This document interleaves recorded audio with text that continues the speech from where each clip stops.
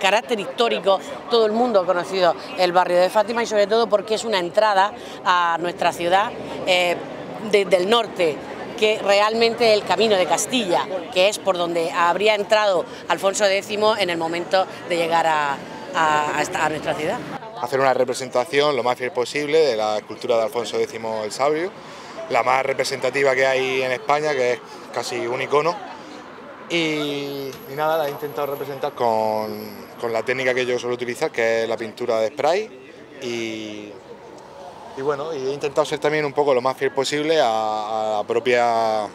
gráfica e identidad visual que tiene el, 750. Seguir embelleciendo la, la ciudad, sacando el arte a la calle, porque realmente cuando está en la calle la gente lo puede disfrutar y sobre todo embellece nuestra ciudad. Y tenemos este, este aquí, ahora se está terminando otro en Santa Bárbara que también está prácticamente terminado y Amado empieza el lunes el de la Torre Alta, el de Villa Crucis, que también va a ser un mural muy importante para la Torre Alta porque va a ser en concordancia con, la Asociación del Villa Crucis y pensando en ese Villa Crucis que ha hecho su 25 aniversario y que ya se ha convertido en un referente no solo de Molina de Segura de su Semana Santa, sino de la Semana Santa a nivel regional.